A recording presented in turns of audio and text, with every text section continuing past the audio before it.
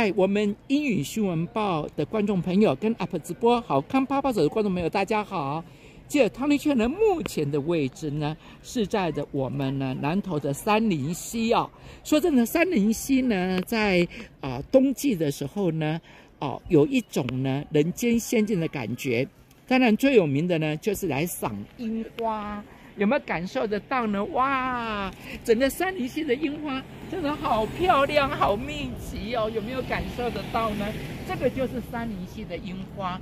然后呢，来到三林溪呢，第一个呢，我们要知道哈，它的门票来这里呢，让我们大家看一下，全票的话呢，啊，每人是三百五十，六十五岁以上是两百哈。那如果学生的话呢，每人是三百哦。这个是三林溪的门票。再来，在三林溪呢，它有游园车，游园车呢，它是免费的喽。来，那我们看游园车呢，它怎么让你坐的呢？来，请看一下，再看这个图啊。我们目前的位置呢，大概在这个位置啊，甘草谷啊，大概这个位置啊。然后游园车呢，它是从呢旅客服务中心啊让你坐啊，坐呢最后一站就是这个。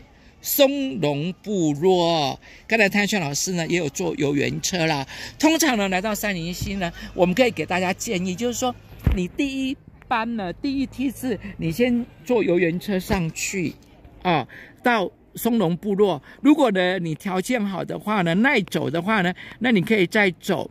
哦，这边呢有这个天地岩哦，有那个千古红块，然后的话呢，啊，松龙部落那边也可以用餐嘛，哈，那可以再走下来，啊，这个是三林溪的游园车。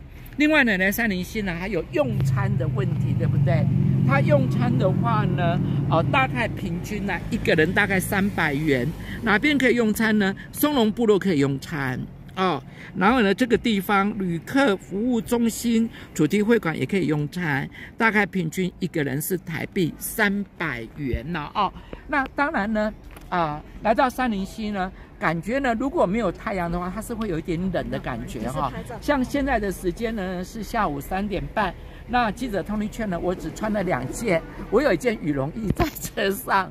就觉得有一点冷了哈，这个呢是汤轩老师特别叮咛大家的，来看一下，哇，这样子美的这一个樱花哈，真的赏樱花不必到 Japan，我们呢南投的三林溪真的就美如人间仙境然后，我们进来再看看一下，哦，下面呢这个啊。小河流哇，然后倒映着我们的樱花，真的是不是非常的美丽，对不对？哇，谢谢大家，再慢慢的看一下，我们镜头慢慢的、慢慢的给大家看哦。